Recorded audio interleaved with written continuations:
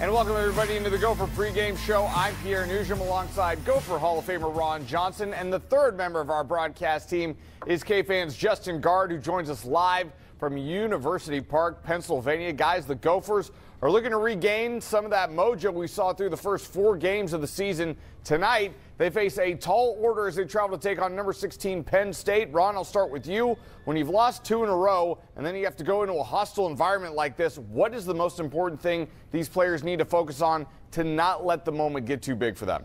Yeah, just play their game. And, honestly, you got to feed off each other. You got to stick to your game plan. This, again, this is a one game championship season. I like how PJ Fleck puts this. A lot of guys would sit back and say, man, if we lose this one, we're now four and three. We lost three straight games.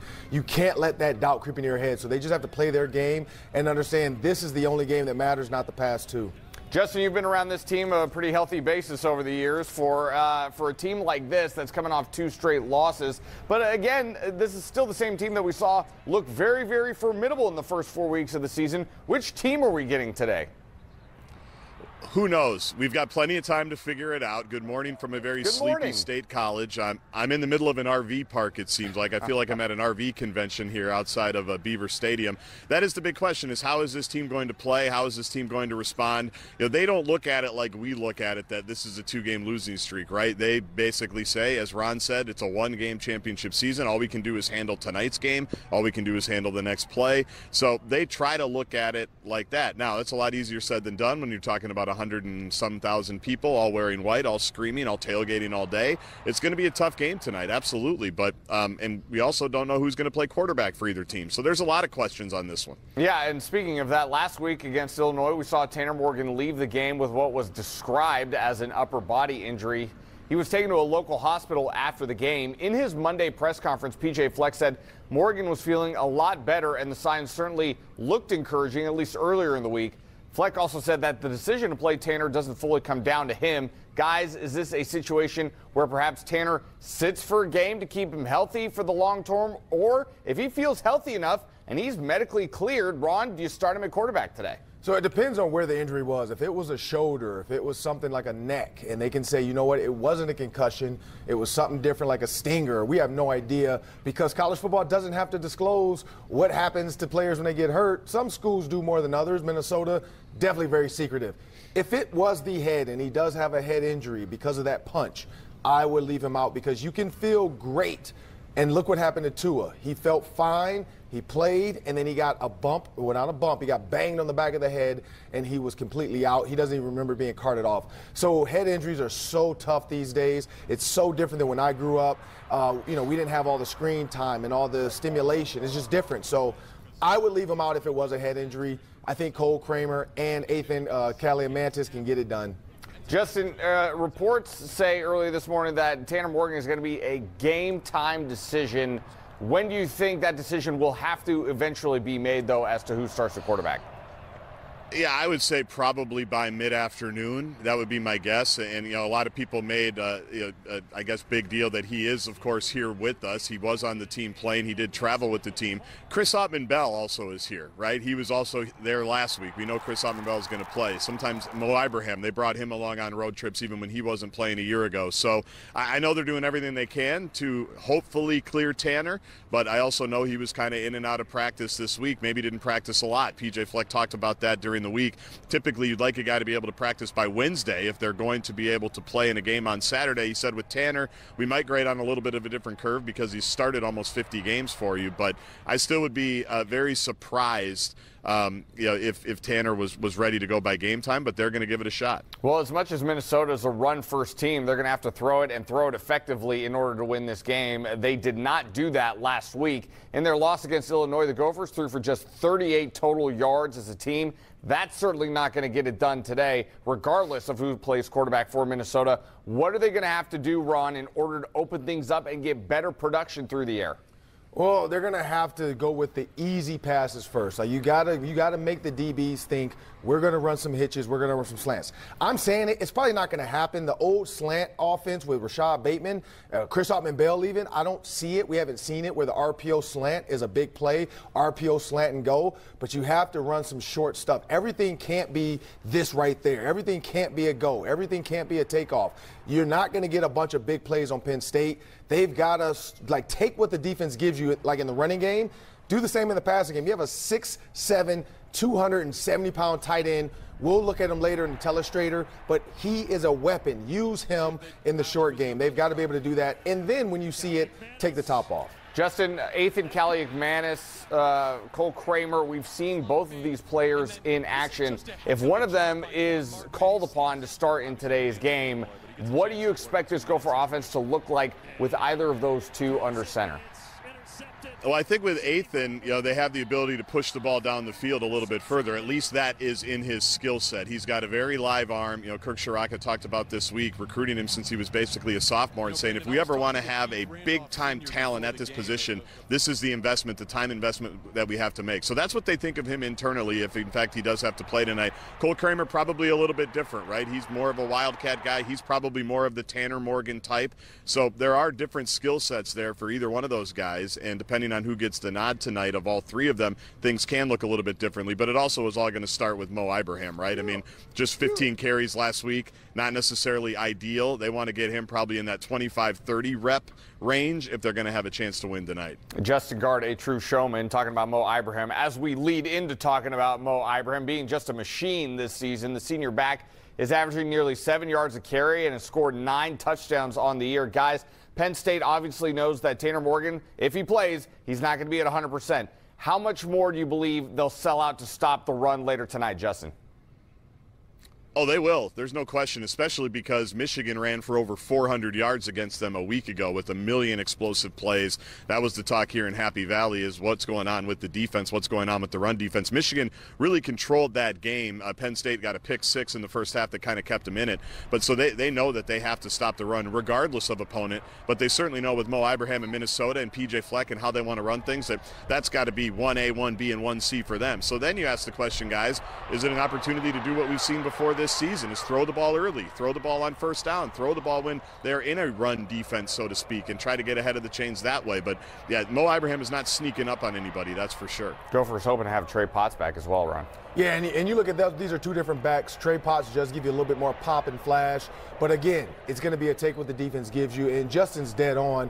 With Mo, they're going to sell out. They're going to put a bunch in the box. With Trey, they're going to put a bunch in the box. So it's got to be some strategic runs, too. Like if you know the box is packed, run a, a, toss flip where there's a crack from the outside, you seal with an outside guy, and you leave your running back one on one with either a nickel or a cornerback. That's a running back's dream to have a corner or a nickel trying to tackle him versus a linebacker. You'll see here one cut. These DBs are not built. They're, they don't practice trying to tackle every day. That's not their thing. Their thing is covering. So when they have to get put into some of those situations, they take bad angles. I think that's the way to do it. You got to get on the outside. You got to get on the edges because Penn State's going to load that middle box. Well, earlier this week on the PJ Fleck's show, we asked him if a night game under the lights has a different feel to it, and he didn't deny that there's a little extra juice when you play under the lights on a Saturday night. Ron, you've played in big games before. Do the guys get hyped a little bit more for a night game in an atmosphere like this? Oh yeah, and you know the lights are out. So if this was me, I'm putting on the Vaseline. I'm getting my arms ready. I'm getting ready to go out there. Like the lights are going to be shining. You got to look good for TV. But yeah, I mean the, the biggest thing is you. This is the fun time when you know it's you and your teammates versus the world because everybody in that stadium, besides your little small group of fans, I think it was like 10,000 just. I'm not sure who came down, but when you look at that 100,000 fans screaming at you, that's the fuel you build off of. When you know they're quiet. I had Glenn Mason on my show this week, and he talked about being in Penn State when he was there in 99, and he said, and Ohio State, and he said that. He said, if the fans are quiet, we're doing good. If they're booing, we're doing great. He said a player came up to him and said, Coach, I think we're doing awesome. He said, What do you mean? He said, Everybody's leaving. And so when you can control the crowd like that, that's when you know you're having fun. And so, again, these moments are what athletes dream of. When you're a kid, you dream of going to somebody else's stadium and playing and shutting the crowd up. And so these kids are ready for this. Justin, you're in Happy Valley. Did your Vaseline make it through the TSA? Well, that's exactly where I was going next, Pierre. Congratulations, you've now crossed. It's a rite of passage on the Gopher pregame show. You know it's a big game when Ron starts talking about the Vaseline, and uh, so here we are, October 22nd. We've got our first Vaseline game. I will tell you though, you know, obviously you see the stadium behind me. It's massive. It's huge. Uh, we kind of broke character in the traveling party last night, where more often than not you get plane, tarmac, hotel meetings. Only a couple of times in my 12 years have we actually gone to the stadium on Friday night. And the Gophers did that last night. And I, I didn't ask PJ about this, but I imagine it was he didn't want some of these guys who haven't, you know have never played here. This is only my second time here in 12 years to have the stadium behind us. Their first look be when they get here today. So they spent 10, 15 minutes just walking around. You can't walk on the field until game day because it's natural grass. They take a lot of pride on it, but just walking around the perimeter, taking in the sights and sounds and everything that comes with it. They did that last night. I think maybe to just give people a first look at what they're dealing with today. Well, kickoff is scheduled for 6:30 later on tonight in Happy Valley, and we have more to come here on the Gopher pregame show. When we come back, we'll take a look across the field and discuss what makes this Penn State team so tough to play against. That's next.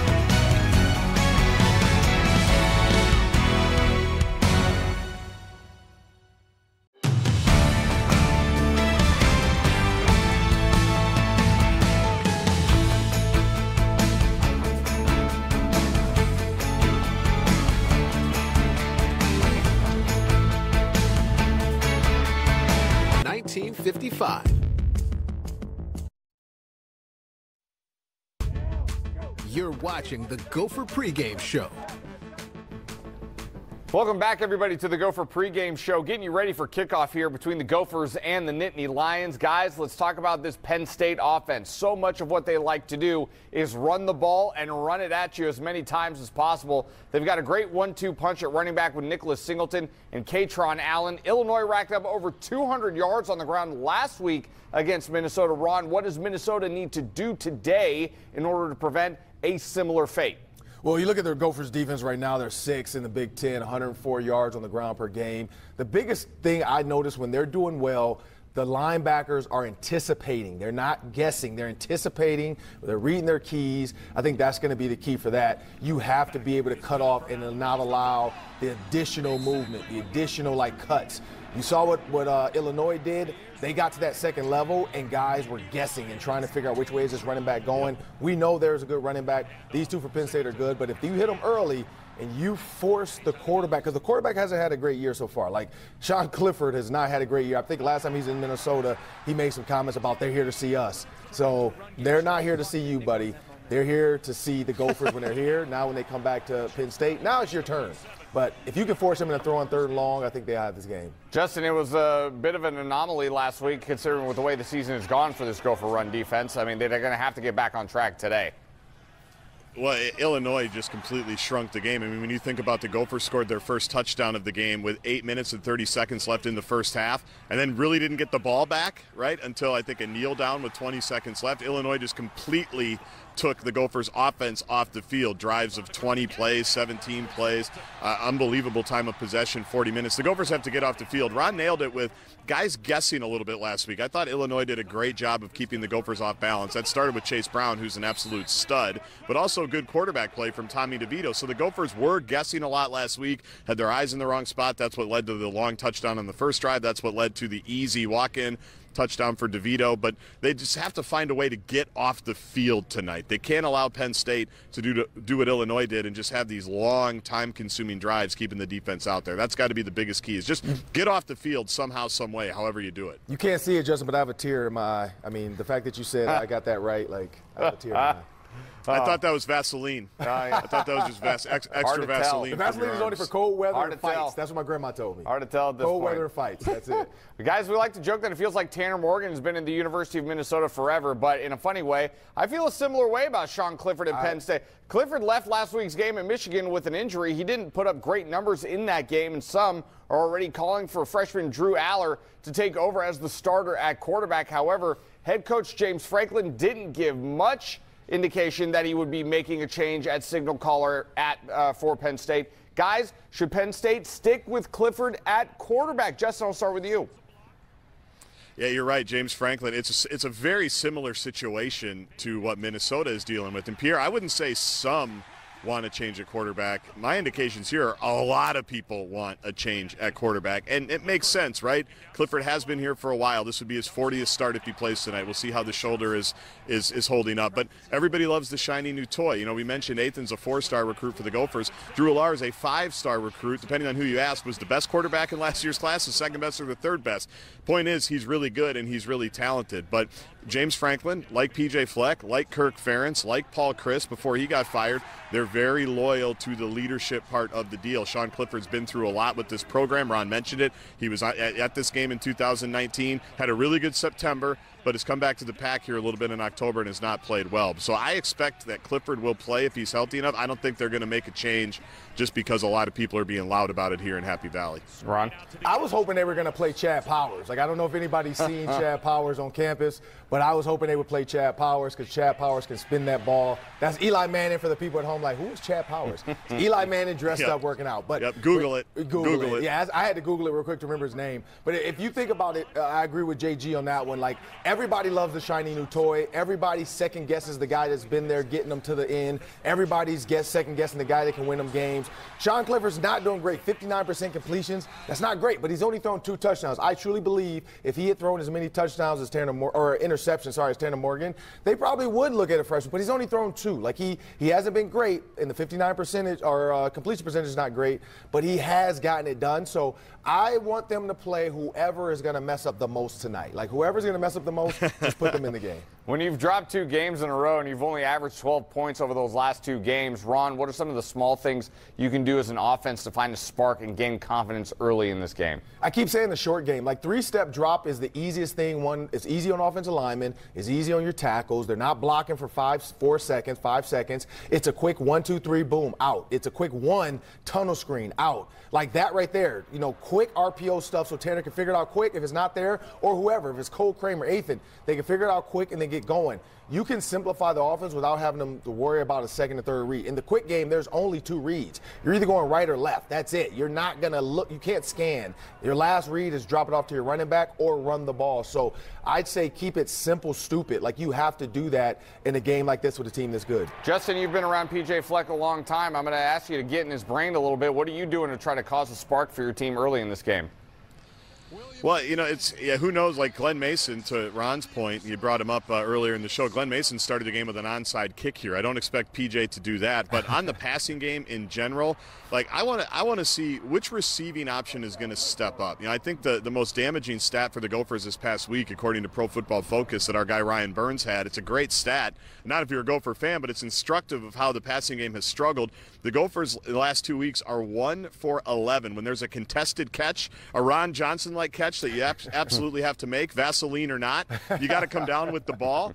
The Gophers have caught one of those 11 contested catches. You go back to Michigan State, it seemed like they made every contested catch. So who's it going to be? Is it going to be Michael Brown-Stephens? Is it going to be Brevyn Spann-Ford? Daniel Jackson was pretty much erased last week by a good Illinois secondary. Like it, we talk a lot about Tanner with good reason. He's the quarterback, but the receivers, they, they got to have themselves a day here because this is a physical secondary. You're not going to get a lot of calls. You can't play for PI. You just got to go make some catches. Yeah, and, and, the thing about PJ said it on the PJ Fleck's show, receivers are not attacking the ball. Chris Autman-Bell had the most violent hands, he would say, out there. Rashod Bateman when he got the ball, Tyler Johnson.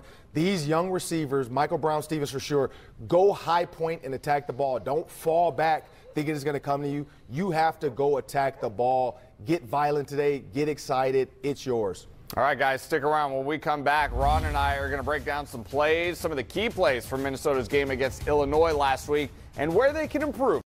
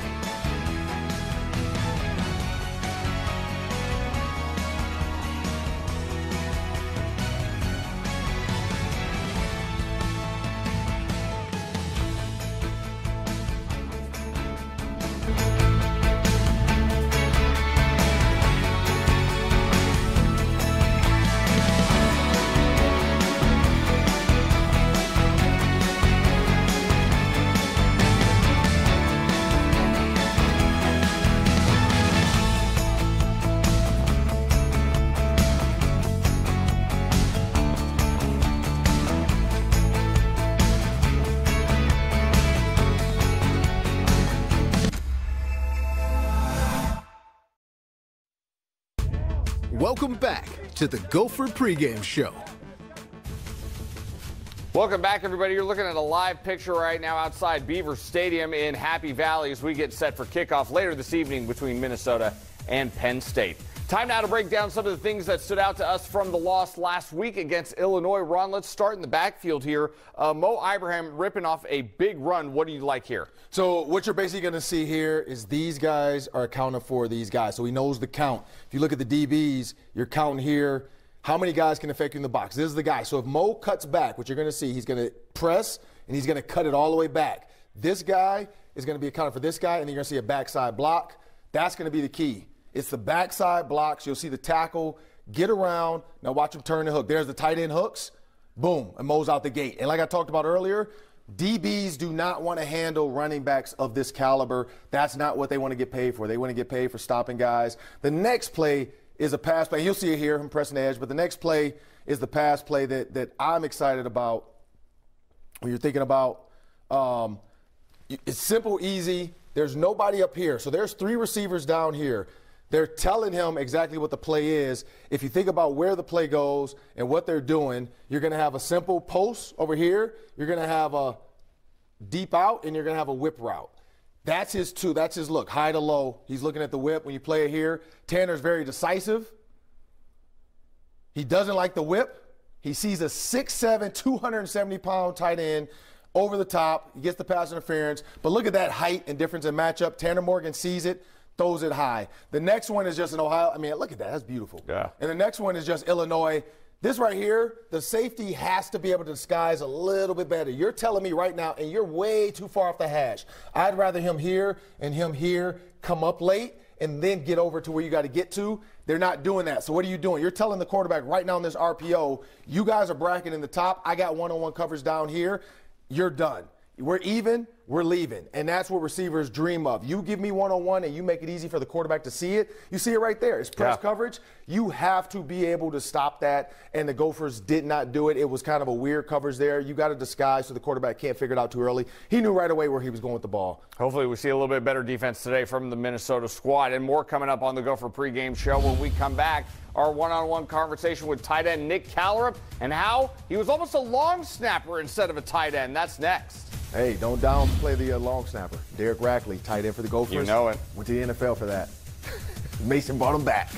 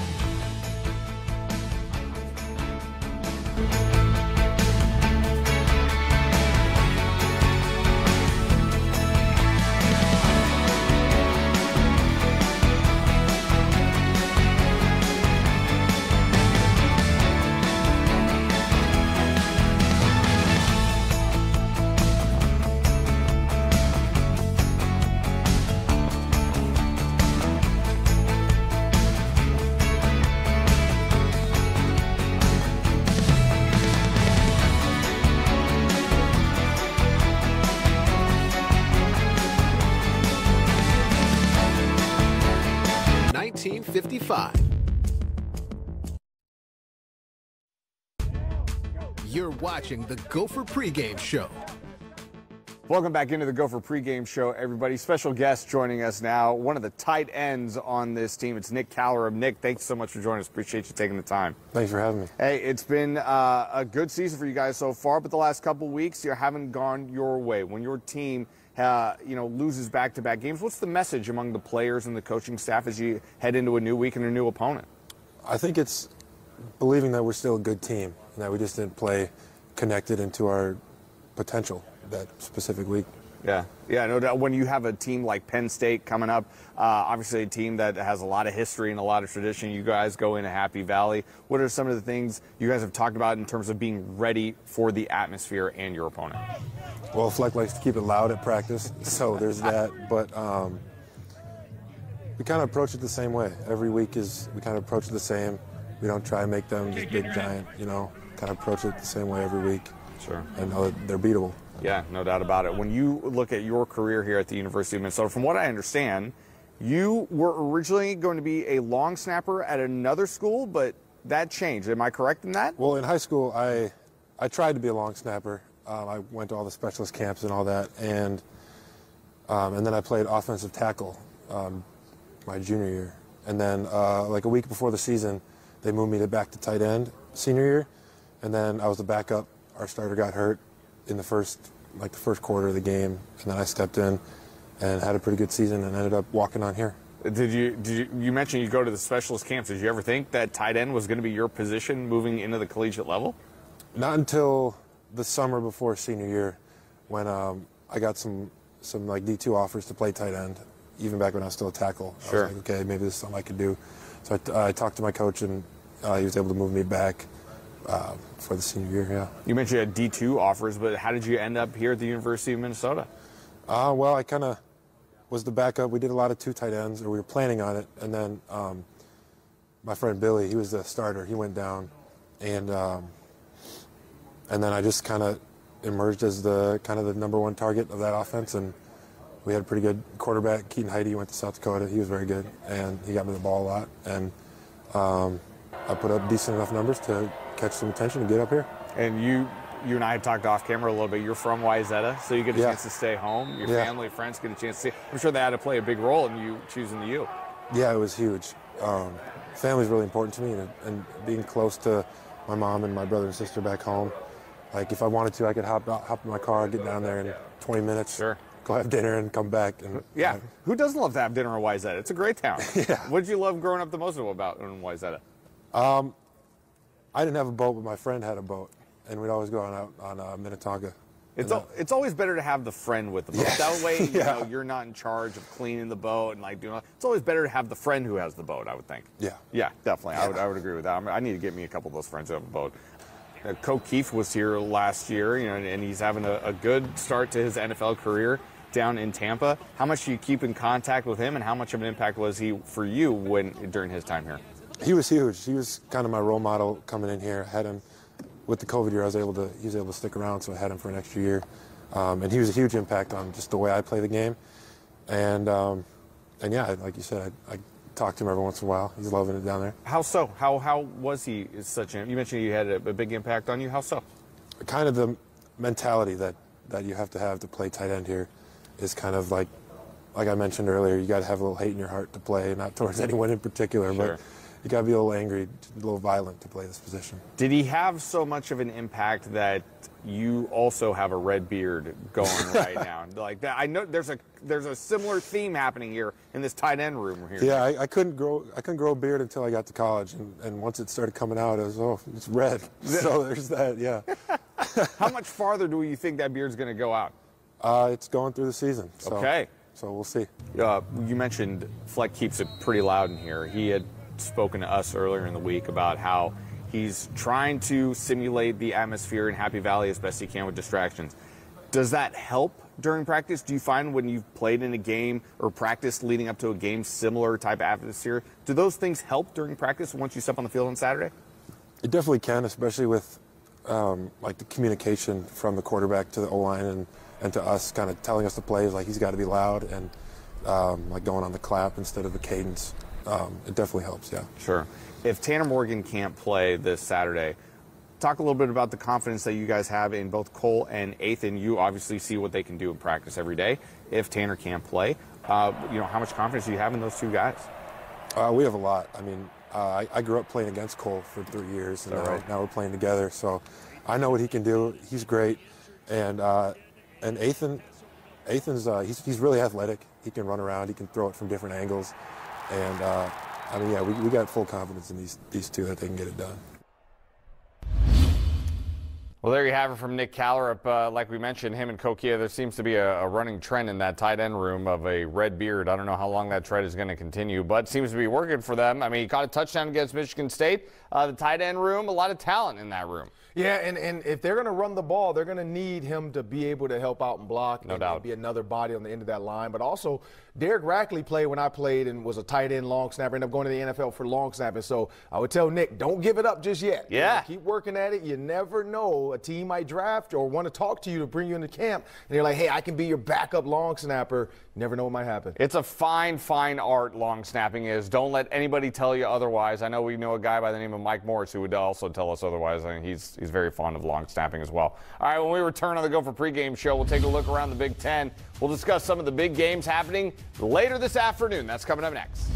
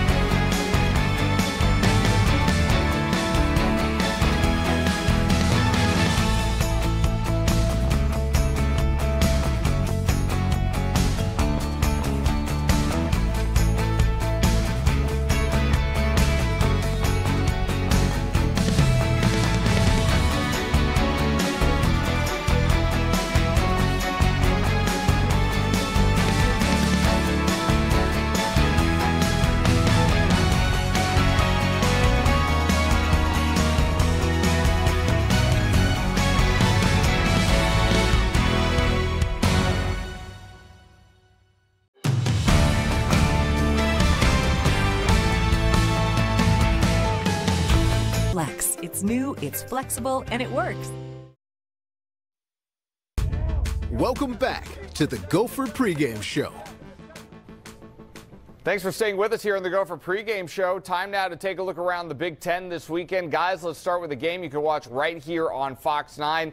Number two, Ohio State at home welcoming Iowa. The Hawkeyes have lost two straight, and they've also scored a combined 20 points in those two games. Ron, Iowa is going to have to play a near perfect game if they want a chance to win this game. They have no chance of winning this game. I feel like I'm watching like Rocky and his corner manager is going to be over there, throw in the towel. Like it's going to get bad. I cannot wait. I am going to have my popcorn ready. My Twitter is going to be going because every single chance I get, I'm tweeting some hate towards Iowa fans. Justin, I think, I think Ron thinks that uh, Ohio State's going to win this game. What about you? Yeah, I think he's leaning Buckeyes there. I'm gonna. I'm not. I'm not gonna spend a beautiful Saturday t- hate tweeting Iowa, Ron. I think there's better things you can do with your time. I will say my favorite nugget about this game is Iowa is almost a 30-point underdog, wow. having not allowed anywhere close to 30 points defensively all year. So that just tells you uh, what Vegas thinks of this game. But yeah, it's it's Ohio State. They, they should have no trouble with Iowa. And as we know, Vegas is almost always right. Let's move over to another Big Ten matchup taking place today. Two teams heading in the wrong direction. Indiana travels to take on Rutgers. The Hoosiers started the season 3 0. They have since lost four straight. Rutgers, meanwhile, they too began the year a perfect 3 0, and since then, they've lost Three straight. Someone's streak is going to be coming to an end. Justin, who do you think it'll be? Man, I have no idea. This is a tough one. This is a very, very.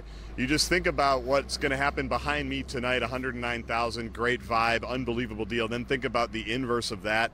I'm, you know, I'm going to go with Indiana. I'm going to go with Indiana. I'm going to go with Tom Allen. He's going to rally the troops, to use that cliche, and uh, somehow sneak by Rutgers. But I feel like it's going to be like 12 9. That's going to be the oh. final.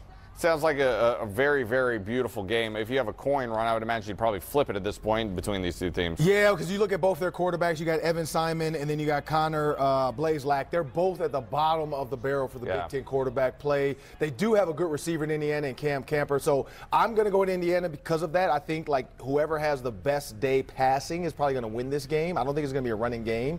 Uh, and, and Indiana has not looked bad. Like they've actually looked pretty explosive at times. And so I just think they have a little bit more firepower power, and, and I agree with with um, JG on that one. 12-9, you heard it here first. Final score in Indiana and Rutgers.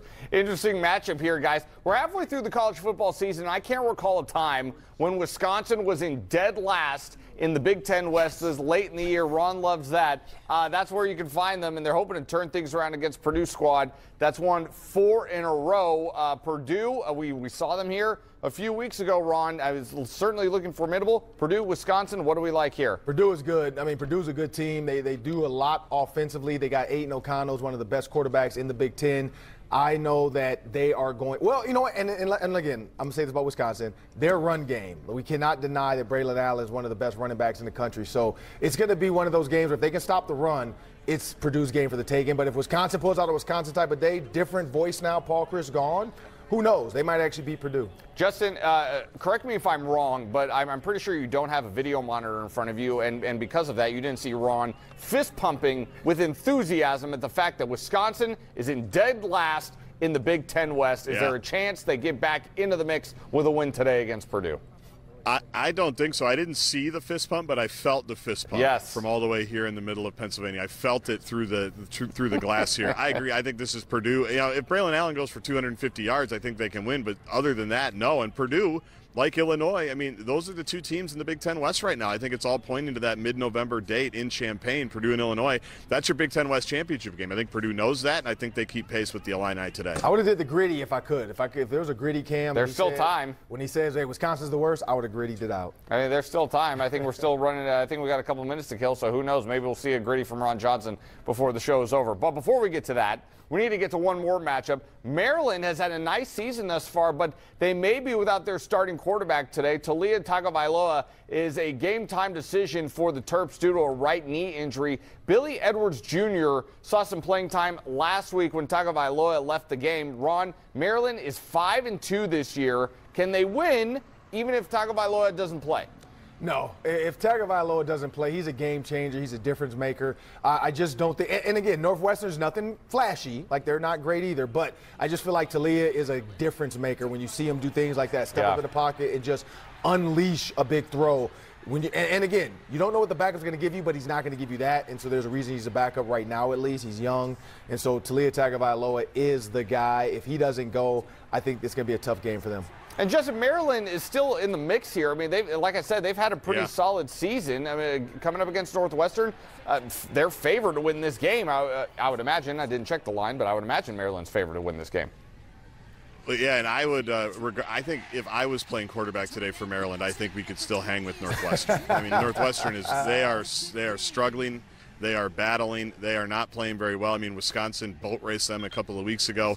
It's been pretty remarkable to see the drop in Northwestern, given that they just won the West a couple of years ago and have won it twice in the last five years. But I go with Maryland no matter who's the quarterback is, and if Taulia is playing, absolutely Maryland. Justin, I got to tell you, looking looking behind you, I know we don't have any music bumping uh, like we did last week, but it looks like a beautiful day out at University Park, Pennsylvania. Yeah, it's nice to be able to hear you guys. It's nice to be able to not have to comment on every song on, on Ron's iHeartRadio playlist that was that was bopping around last week in Champaign. You know, we we could barely hear anything going on. This is great. It's peaceful. We've got cars pulling in and out all the various lots. RVs have been here for seems like months. It's wonderful. It's I- I- absolutely wonderful. How late? How late did you stay up listening to the new Taylor Swift album, though? I'm glad to see you made it on time. Uh, if you never went to bed, is it even count as staying up late? It's a fair point. We should ask Lori Fisher that. I'm sure she probably did the very thing. Light a candle, Yeah, a lot of us did. and listen to Taylor Swift. A lot of good songs. And uh, I'm the problem. That's the one I've seen. I am the problem. Well, Oh, you know, I, not in my heart, you're not, but you know that could that could be you know up for debate for for some of us else. Shake it off. That's Yeah. my only Taylor Swift song. there you have, there you have it. We're not done here on the Gopher pregame show. When we come back, we'll give you our keys to victory as we get you ready for Minnesota.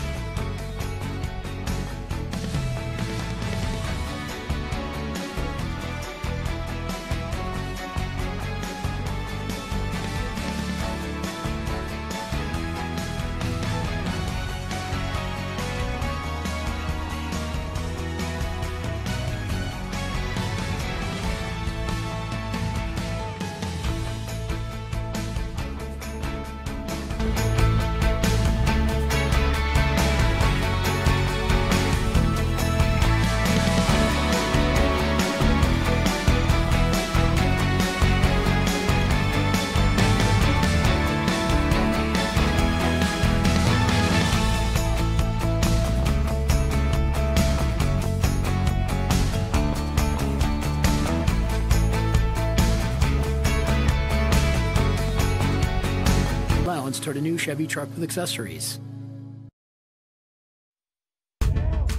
You're watching the Gopher pregame show. Winding things down here on the Gopher pregame show. Time now to get to our keys to victory. And because Justin is on the road, we will start with him. Justin, uh, your key to victory today, sir. They have to find a way to get back to their game offensively. The last two weeks for the offense, not ideal, right? Couldn't do much against Purdue, could do even less against Illinois. They have to find a way to. What does get back to their game mean? It means they have to do to, to Penn State what Illinois did to them. They've got to stay on the field. They've got to sustain drives. They've got to stay ahead of the chains. They've got to keep Penn State off balance. They've got to do all of those things. When they get one dimensional and they don't run the ball very well, Penn State can just pin their ears back and blitz, which they like to do anyway that's when things go poorly, right? And so they have to just find a way, especially early when this place is going to be on fire. There's going to be 110,000 people all wearing the same thing, towels everywhere, music loud, lions roars, the whole bit. Just get through that initial 10, 15 minutes, sustain a couple of drives, get yourself into the game. But for me, it starts offensively, is find a way to get back to your game offensively. Well, and Justin was just mentioning a moment ago, you know, talking about it offensively. Ron, uh, your key to the game today, I think I have a pretty good idea of what it's going to be. What's your key? I'm pretty sure I said something like more money, more problems. There like, it is. The more Mo Ibrahim gets the ball, the more problems the Gophers are going to have on this Penn State defense because they're going to just load the box. It's going to create more problems. So how do you get out of those problems?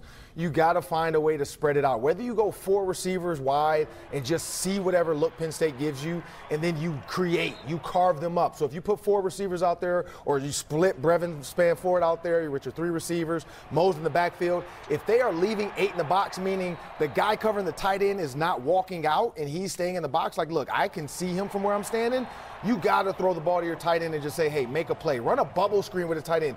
Do some unconventional things because when you do unconventional things, like Glen Mason did, the dude threw a Hail Mary from his own 20 with two minutes left in the game, and we all were like, what in the world is wrong with this guy? I think he's going crazy, but it works. So you got to do some unconventional things when you want to beat a, a, good team like this. But more money, more problems. More he gets the ball, more stuff you're going to have to face. Yeah, I mean, good things certainly seem to happen when Mo Ibrahim puts his hands on the football. There's no doubt about that. My key to victory, guys, very simple. Whether it's Tanner Morgan, Athan Kaliakmanis or Cole Kramer, this team needs a solid quarterback performance. We haven't seen that in the past two games, and this team desperately needs a steady quarterback presence. Do not turn the ball over, make the right reads, and keep the chains moving. It is imperative in today's game to convert on third down and keep this crowd out of it as often as possible. Solid quarterback play is my key to victory tonight.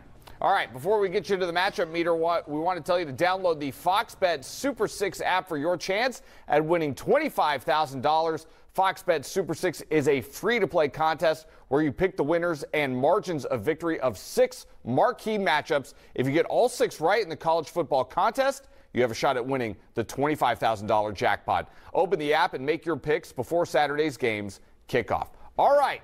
It is time now. Everybody waits for it I'm, every single I'm trying week. to download the app though. Are you? I are you trying? That, I need that twenty. I don't know. I don't know if you're eligible though. I need that twenty-five thousand. You're, you're employed by. I mean, well, that, that makes. Sense. I got two daughters. Oh, I need it. You need it more than I. That's, I was about to make my picks, but you're right. I'm going to let Ron have, have a better shot at it as well. Let's get to Ron's matchup meter now. Ron, Minnesota and Penn State. Let's start on that offensive side of the ball. Who do you got?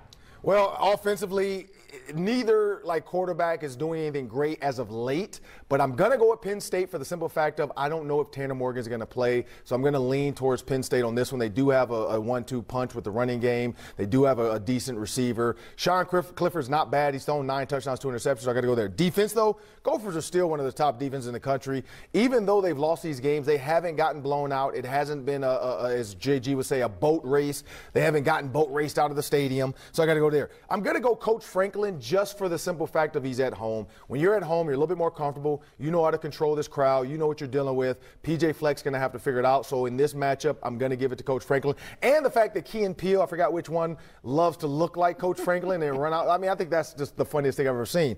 And my X factor, though, I'm going to go with an unconventional X factor. My X factor today is John Michael Schmitz. Why? The center is the best player on the field. He's the best player, best center in the country. But this is the key. When you're in a loud stadium like this, the center has to keep the quarterback under control. If he has, especially if it's one of these other guys underneath him, he's got to keep them under control. He's got to help them out and pick out the mic. He's got to keep the offensive line together and say, hey, hey, this is who we're doubling. This is who we're blocking. I got this guy. He is going to have a tough task today because, like PJ said, we're not going to be able to hear. So hand signals, whatever little deals they did, it's John Michael Schmitz's day. And if it's a running day, He's got to have some pancakes. I know I love pancakes for breakfast. Let's get a bunch tonight. Who doesn't love dinner for breakfast? I love breakfast. Sorry, breakfast for dinner. I love breakfast for dinner. I know JG will take a steak for breakfast though, but give me some pancakes tonight. You know, guys, I've been uh, in this business for about 20 years, and uh, you know, it, there are times when I think to myself, you know, I, have seen it all. Last night at the Timberwolves game, I saw seven foot two Rudy Gobert set a pick and roll for seven foot Karl-Anthony Towns with the game on the line. And then today I hear Ron Johnson say that John Michael Schmitz, the center, is the X factor yeah. for today. Justin, uh, did I just not get enough sleep? I don't know what, what's happening here in the wide world of sports. Things have gone crazy. Yeah, I think Ron maybe didn't get enough sleep. That's what I, I worry about when he starts talking about non-skill position players. Even acknowledging that they exist is an amazing sign of growth for Ron. Punter, I think that's a good lesson. Well, we know that. We know you'd need some help on identifying the punters uh, and, or kickers or long snappers. Ron mentioned pancakes. So uh, oh, during yeah. one of the breaks here, we were offered. There's a waffle bar um, just a couple of rows down where uh, Goody and I are going to go right after this. Apparently, we were basically demanded that we go over to this waffle bar. Um, there's three RVs in a U shape where it's waffles for everybody. Apparently, so that's what we're going to do. JMS you should have set the camera up over there. We're going to get some waffles. Bar. Yeah, I mean, you could have put that yeah. on TV. Trust yeah. me. Well, part of the reason part of the reason I don't think we did is because they wanted the camera over there too much. They were too frontal about trying to get on TV. That Fair make, enough. you got to make them earn it a little bit. People want to do interviews. We're telling them they need to score a touchdown first. We've got a hard line here. Uh, outside of Beaver Stadium. But yeah, so we might dabble in the waffle bar out here. No pancakes, but waffles. Guardsy, before we go, you mentioned uh, this is your second time in Happy Valley in 12 years. What do you remember from the first time you were out there? That the Gophers should have won the game, um, and that one big play in the second half ignited an otherwise sleepy Beaver Stadium. If you remember in 2016, kind of similar to this, Penn State had just lost to Michigan, although at that point I think they were two and two. James Franklin had to get the um, seal of approval and the job security pledge from their athletic director at the time. They got booed off the field at halftime. The Gophers were winning. One long pass play, an 80-yard touchdown on third down ignited the place. There was only about 80, 85,000 people there that night, but it was still one of the loudest places that I've ever been. Game goes overtime. Saquon Barkley scores on Penn State's first play, and the rest is history. But it was a great game. Uh, it was an unbelievable environment, and I expect even a more lively environment tonight, given it's going to be sold out in the whole whiteout and everything that goes along with it. Yeah, we're certainly expecting a ruckus atmosphere out at Beaver Stadium. Looks like a beautiful start to the day out in Happy Valley. We'll see if the weather holds up. I'm sure it will by kickoff tonight. Again, uh, you know, you have time to go back to sleep, take a nap real quick, get ready for tonight's game as Minnesota gets set to take on Penn State. It kicks off at 6:30. Ron will have the Vaseline ready. The Gophers will have the Vaseline ready. Everybody's rocking and rolling as we get set for kickoff tonight between the Gophers and the Nittany Lions. Guys, enjoy the game, and we'll see you all back here next week for more on the Gopher pregame show.